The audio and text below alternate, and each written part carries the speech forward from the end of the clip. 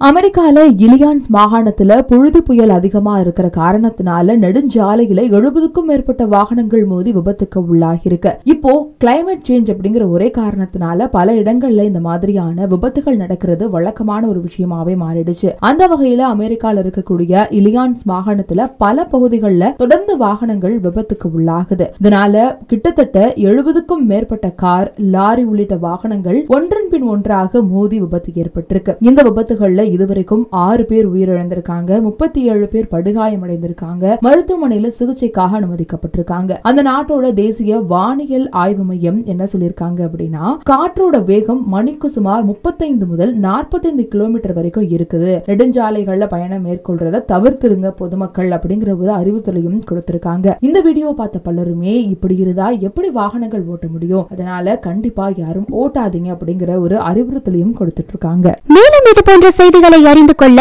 கீழே உள்ள லிங்கை கிளிக் செய்து செய்தி மலர் வாட்ஸ்அப் குரூப்பில் இணைந்திடுங்கள்